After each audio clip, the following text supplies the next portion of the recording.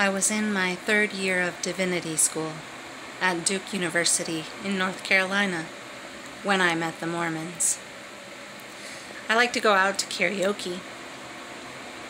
And I would go out with a friend, and often it was Wednesday nights right after we had our church group. And so I'd be all dressed up and I'd go out to karaoke and I'd go singing. And there was another group. And I noticed that they were very friendly. And one night, my friend was not able to come with me because there was a big storm and she wanted to get home. She lived further away from the restaurant. So I went by myself and um, the group asked me to stay at their, uh, to sit with them at their table. Now there was a gentleman there who was seemed close to my age and I was kind of interested in. And then there was an older couple and a few other people. And um, I started talking to them, and getting to know them. Um, and then uh, the gentleman that I was kind of interested in kind of took an interest in me.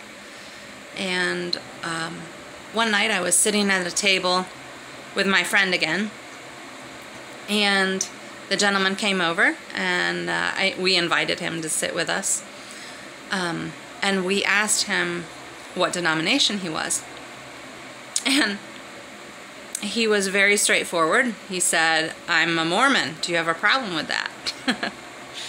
um, and I was very honest. I said, I don't know. I don't know very much about them. I'll do some research and I'll get back to you next week. And I did. I did the research.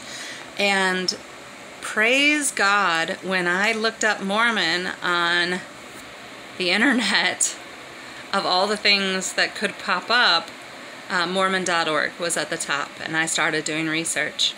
So the next uh, Wednesday, I told him that I had done research and I didn't have a problem with him being Mormon, and we started talking. And we started having um, great conversations about religion and and uh, other things. Um, he asked me to dance. Basically, took my hand and dragged me onto the uh, dance floor. He had a wonderful voice, um, and he uh, had a horse on his jacket and um, he was handsome. It was just about everything that I was looking for in a, in a man. And we started we started dating. Um, at this time, I was preaching at a little church in the in the sticks uh, every other Sunday. And so I invited him to come to the church and listen to me preach. And he said that he would come if I came with him to his church afterwards because his church was meeting in the afternoon. And I agreed, had no problem with that. Uh, so he came and listened to me preach, and then I went to his church afterwards in the afternoon. And right away, I felt something different. Um, right away I knew there was something different about this church. Um, I grew up in uh, the Catholic Church, um, and uh, you don't make sounds there. And if you have children eh, there in the church that I grew up in, you took them in the back if they made any noise at all. And I noticed that this church was kind of rowdy. Um, the children, they they made all kinds of noises. They uh, they talked. They laughed. They they cried. Um, sometimes, if they got too rowdy, they took them out. But mainly, this was a church where children were allowed to be in the service the whole time. I also noticed two other things. I noticed that there was no passing of the basket or passing of the plate um, for collecting money and I noticed that there was no uh, standing up and um, saying hello to your neighbor and shaking hands during the service. Both things that um, I don't really like in a service. So I was really excited actually about the church right away, but uh, had no intention of joining. Just, you know, excited to go with him. Um, but I was at Duke Divinity School and I was going to be a church pastor at this point. So um, definitely was not looking into the Church of Jesus Christ of Latter-day Saints because they did not pay their their bishops. Um, and so I had no future um, job at that church. And so um, for a long time, I, I wouldn't even meet with the missionaries. And then finally, um, the missionaries called while I was um, on a date with this gentleman.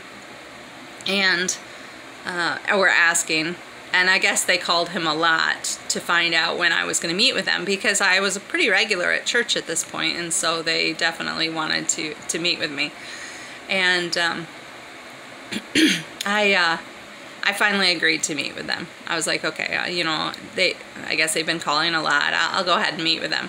So um, they began meeting we, with me at my place, and the first week I will never forget. Um, they met with me and the, the gentleman that I was dating came along and they asked me the first few questions. and one of the questions was, do you believe that, that God still speaks to people? Do you believe that, you know, he still, he still has messages for us? And I said, yes, absolutely. And they, they said, um, they looked at each other after they asked me these few questions and they said something to the effect of, this is going to be an easy one. Little did they know. Being in divinity school, I had some pretty deep theological questions for them. So after the first week, they decided um, that they would start bringing um, a gentleman that was from the church that was in the PhD program at Duke to answer my questions um, I was really impressed with them because I asked them some very deep questions in the first week and they said, you know, they said that they would check into it and they would get back to me. And so many people say that and then completely forget about it. But the following week, they came back with that PhD student and they answered every question that I had the week before. And that went on for weeks and then months. Um, I went through a couple different missionaries um, never setting a date for baptism, but always um, really interested to, to hear what they had to say and, and to learn more. And um, finally, um, you know, dating was getting pretty serious, um, and um, I was really interested in the church, but I, I was, I had written home telling them that I was looking into this new church, and one of my relatives, um, he wrote back this like 10 page letter on how awful the Mormons are and how they're evil and um, how they sacrifice goats in the temple and all kinds of horrible, horrible things that he had probably read online. And, um, you know, I went through it and I asked the missionaries most of the questions I had from the letters, and they insisted that most of it wasn't true. Um, but it kind of stalled me because now my my mom was afraid that I had joined a cult. And so, although I kept meeting with the missionaries, I had no intention of joining the church.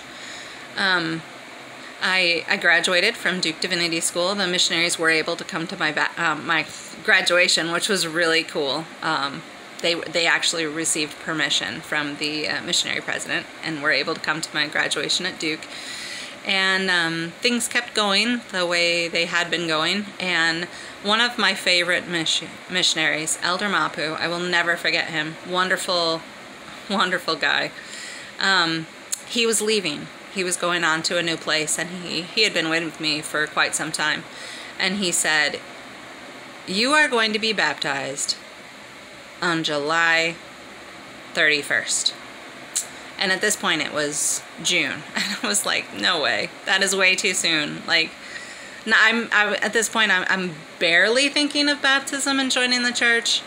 But at the same time, I'm like, no, no way. That is not going to happen. Well, Elder Mapu was right. I was actually baptized on Jan July 31st. Um, he was not able to be there. He, he had left um, prior.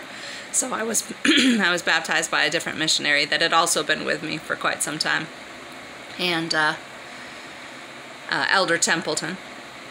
I'll never forget his name because as soon as I think of the uh, rat in uh, Charlotte's Web, poor guy, he got that a lot. But um, I was baptized on uh, July 31st, uh, joined the church. Um, a year later, um, I was able to go to the temple, which was a really wonderful experience. They do not um, sacrifice goats in the temple, so you don't have to worry about that.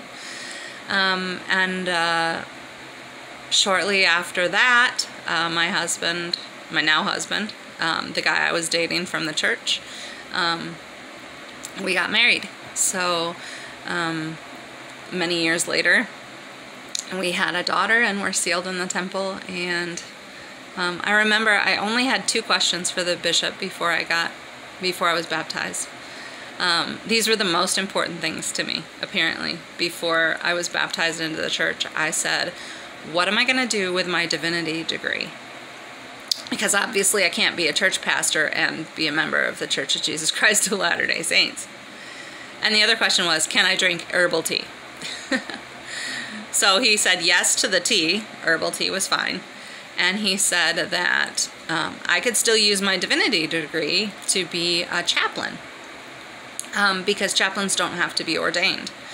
And so um, that was a good enough answer for me. As long as I could use my degree, I was happy with that. I am now a hospice chaplain, although I'm taking a break to homeschool my daughter, and uh, I'm so um, blessed to be able to do that. Really, really happy to be able to do that. So, um, so yeah, that's how I met the Mormons at karaoke.